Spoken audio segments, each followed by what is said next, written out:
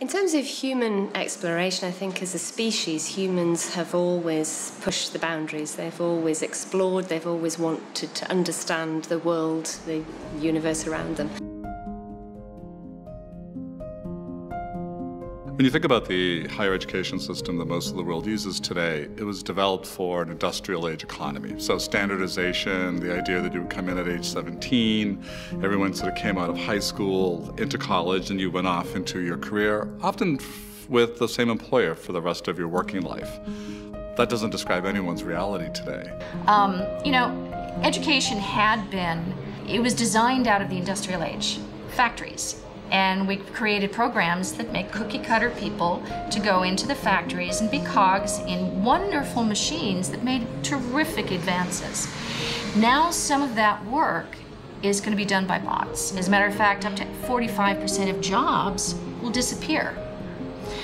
Okay, well, what will people do then? We have to think about building a higher education system for this much more fluid economy in which we live, where uh, work is changing all the time. Even if you don't change your job, your job will change out from under you, so you're constantly relearning. So STEM learning is really essential for all students to learn. It really is about computing, computer science, and engineering. That's really what it's about. And one of the things is that all the jobs of the future are going to require skills in these aspects. And so maybe you want to be be a lawyer. Well, guess what? You'll need to learn how to program to pull down the cases and actually do some analytics. So the world is changing. And so our students and the next generation will have to be comfortable. They will have to be native in the language of STEM. Well, fortunately, our uh, technology move a bit faster than our education. So it's a good example people in computer science, it's quite often companies, they just try to get a freshman and just put them to study at the company rather than spending time at the university because technologies these days really moving at the, the extreme pace. So what education give you is good fundamental knowledge. Because STEM, math and science, is really the tool of problem solving, it's computational thinking, it's the way to provide a kid the ability to think of, about how to solve the problems of the world. I always say I can get a four-year-old to code which is awesome and amazing. And you have kids who are barely, they're early readers that are interacting with robots and coding them up with block-based language because the kids are so open and receptive when you give them the tools to really learn. I mean, the, the future of education is indelibly tied to the future of work. And what we've been talking about for some time and now actually seeing really happen is people who change what they do constantly and have a constant need for learning. We also know that industry is demanding something different from us. They don't trust a college degree as a signal of capacity in the way they once did. Fundamental knowledge in mathematics, in, in physics, in, in some other areas as well, it helps you to choose the area what, in which you are most excited about and really help you to find your way. Who are you? How are you designed? What, what inspires you? What do you care about? What do you want to spend your life on? What are your talents? You need the elements and you need to know how to integrate. You need to know how to create fusion. And that's the core concept, as a matter of fact, of fusion. In nuclear fusion, two nuclei come together, form a new one, and release a great deal of energy into the world. But likewise, in business, science and technology, and the arts and humanities, two ideas, two technologies, two whatevers, two industries can come together, form something new, and release a great deal of value into the world.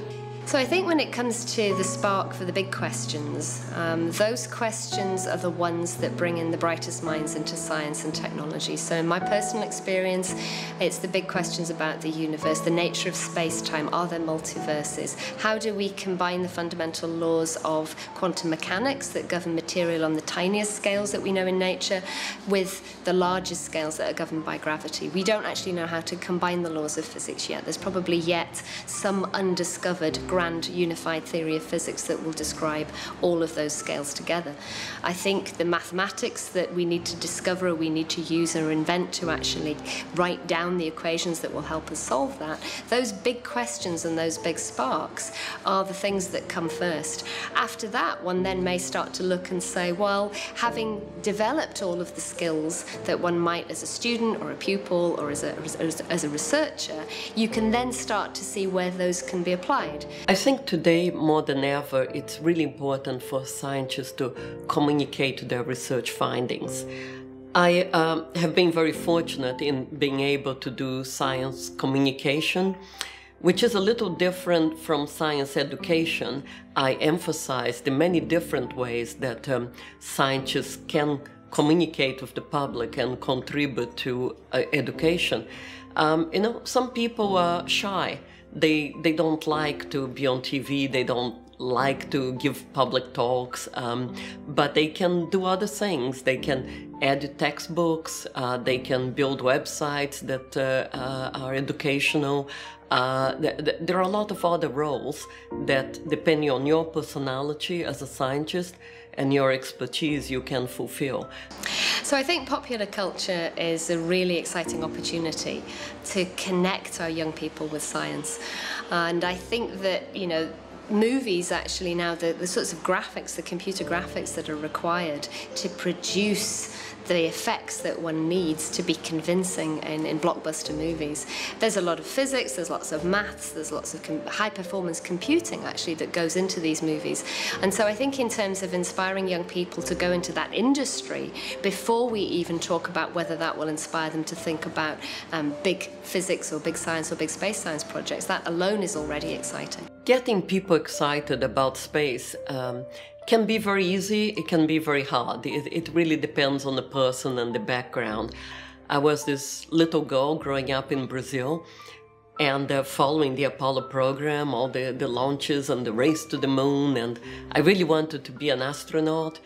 Uh, pretty early on, I realized that I was female. Uh, there had only been one female astronaut at that time. Uh, I, I was Brazilian, Brazil had no space program, and I had terrible eyesight. So I realized becoming an astronaut is probably not going to work out, but I could become a scientist and work for NASA and work for the space program. And that's the trajectory I went on and, uh, and I succeeded. And the Apollo program was that trigger. And it was really important in my life. My background is from a small town in, in Urals. I, then I studied in Moscow. I was trying to get my PhD in, in Holland. I worked in, in the UK. I worked in Singapore. And one thing which I learned, which would lead you to success either in science or in business or in fact in any other area, is to be excited about what you're doing. If you do it simply because you think it is, it will be good, your parents will be happy, that's not what, what will get you to, to success. The only condition, very, very necessary condition, is to be excited with, with what you're doing. I think in much of the world today, we are facing a crisis, a crisis of inequity, but it happens in the context of globalization, the impacts of technology in a sense that there will be winners and losers. And if we leave people behind, we create enormous social unrest, fear, and anger. And I would argue that in my own country, in the United States today, a lot of what's happening right now are for people who feel like they've been left behind. I can put it in more positive terms as well, which is that there's enormous talent in all of our population. Poor kids are not dumber than smart kids. What they've had typically is a less good education. And what we can't do is squander the talent. The problems we face are too profound, whether it's climate change, our new economic models, our understanding the impact of technology. All of these things are hard. We can't leave the smart kids behind. So, so it's incumbent on us, for the good of our societies, but also to take advantage of every smart problem solver that sits there at age five today in a poor neighborhood, in a poor school, to say, no, we can give you a path so you can be part of the solution. so there may be a very big question that we want to solve, and it may be 100, 150, 200 years before we get the answer to that. But the journey that we take along that path to answer those questions um, is really what then gives us the societal benefit. So one good example is Einstein's general theory of relativity, which when he first published his seminal paper back in 1915 um, was a great piece of mathematics, wonderful innovative thinking, but one you know could be excused for thinking it was an esoteric piece of theoretical physics that would lie in the literature. Um, now 100 years later, um, all of our global um, satellite positioning systems, our satellite navigation, our telecommunications um, could not operate in the way that they do without our understanding of general relativity and making sure that the maths sits in, a, in, our, in our satellites. And so Einstein did not sit down to invent satellite navigation, but without his discoveries, we wouldn't have those, those benefits now.